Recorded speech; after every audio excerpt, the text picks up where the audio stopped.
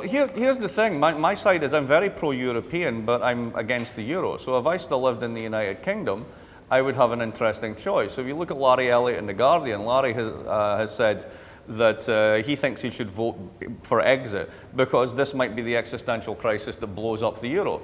Now, why would you want to blow up the euro? Because that will be terrible, etc., etc. Because the long run effect of the euro is going to be to drive Western European wages down to Eastern European levels in global competition for export share with the Chinese. That's one interpretation as to where this all goes.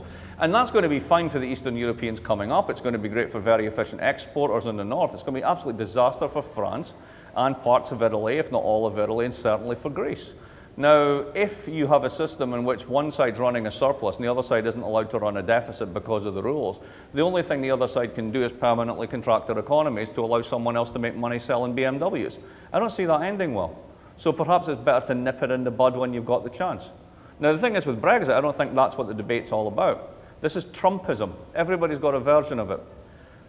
Trumpism? Trumpism. Remember Donald Trump? Yeah, Right, okay. So, well, here's what I mean by Trumpism. For the past 25 years, particularly the centre left, has told the bottom 60% of the, of the income distribution in the country the following story. Globalization is good for you. It's awesome. It's really great. And we're going to sign these trade agreements. Don't worry, there'll be compensation. It'll be fine. You'll all end up as computer programmers. It'll be fantastic, right? And by the way, we don't really care because we're all going to move to the middle because that's where the voters are. And they're the people with money and they're the ones that we really care about. So you get this shift under Schroeder. You get the same thing under Blair to New Labour, whatever. And you make that move. And you basically take the bottom 30% of the income distribution and say, we don't care what happens to you. You're now something to be policed. You're now something to have uh, your behaviors change. We're going to nudge you into better patterns, as the Americans like to say.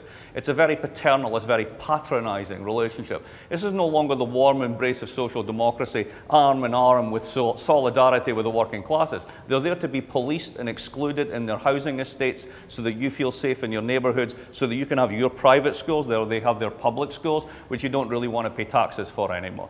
So once this has evolved over 20 years, you have this revolt not just against Brexit, it's not about the EU, it's about the elites, it's about the 1%. It's about the fact that your parties that were meant to serve your interest have sold you down the river. kind of uh, you keep Le Pen. Uh, Yeah, maybe they're all the same. The- think how ridiculous this is. Think of the Scottish independence thing, right? So these guys vote to stay in because the entire British establishment links arm in arm and says, don't do it. And you've got to wonder why, because ultimately, who's going to get hurt if they do it? People with money. So they're saying, don't do this, right? So, okay, they go, all right, then we won't do it, right? So then this, the SNP, the anti-austerity party, are in, they're like, aye, well, we didn't win that, but, you know, we're still in power, great, on you go. Okay, so what happens next? Well, if apparently if there's going to be a Brexit vote and to get out, then the Scots are going to vote to get back in.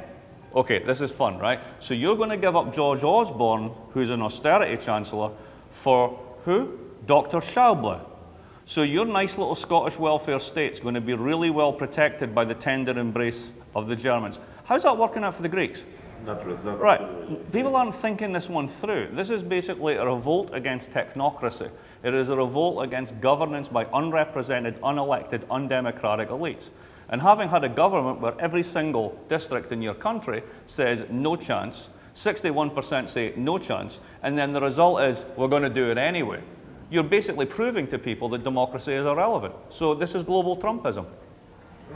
And at the end, it's a no-win scenario. I mean, Well, it's a no-win scenario until basically elites figure out that at the end of the day, as I like to say to my American hedge fund friends, the Hamptons is not a defensible position.